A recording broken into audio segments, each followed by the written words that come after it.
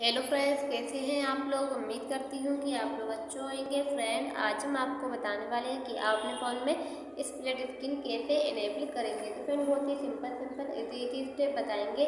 आपको देखना है और फॉलो करना है। और वीडियो की पूरी जानकारी लेने के लिए वीडियो लास्ट तक ज़रूर देखना है। अगर फ्रेंड आपने मेरे चैनल को सब्सक्राइब नहीं किया है तो बेल आइकन को दबाइए चैनल को सब्सक्राइब कीजिए। आपको यहाँ पर थ्री बटन देखने को मिलेंगे तो आपको बटन पर क्लिक कर लेना है। और यहाँ से आपको अपने फ़ोन में जैसे कि स्प्लिट स्क्रीन करना है तो आपको इस पर क्लिक कर लेना है। क्लिक करने के बाद में आपको यहाँ से स्प्लिट स्क्रीन पे क्लिक करना। तो आप यहाँ से इस तरीके से कोई भी एप्लीकेशन ऐसे खोल लेंगे और इस तरीके से आपको अपने फ़ोन में स्प्लिट स्क्रीन शो करना है। आई फ्रेंड जैसे कि मैसेज पे क्लिक कर लेती हूँ तो आपको यहाँ पर मैसेज देखने को मिल जाएँगे और यहाँ पर आपको सेटिंग ओपन कर लेंगे। तो फिर इस तरीके से आप अपने फ़ोन में स्प्लिट स्क्रीन शो करेंगे इनेबल करेंगे।